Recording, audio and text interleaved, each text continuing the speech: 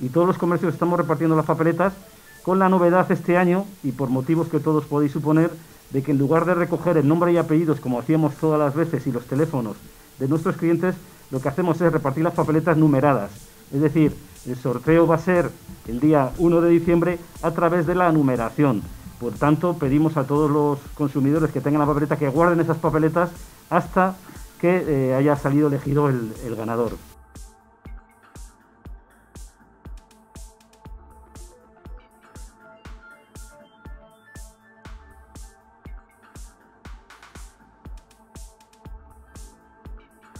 Y, no hay que hacerlo además, yo creo, por, un, por algo de decir,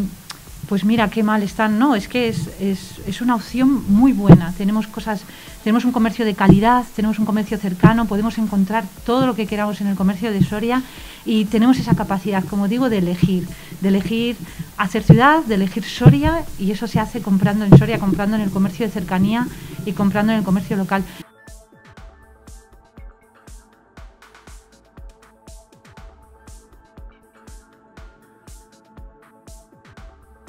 Sigue habiendo vida en Soria, sigue habiendo vida eh, o debe haber vida en, el, comercio y esto pues es un elemento pues para, llamar la atención, para dinamizar y cuando la gente escuche la radio o vea la, publicidad que, se está haciendo, decir, bueno, pues el Eurocentrín no se ha ido, sigue ahí, es algo más que estaba en nuestra vida, que lleva 11 años, ya lo tenemos muy, muy interiorizado y sobre todo también es un aliciente, 6.000 euros por, por comprar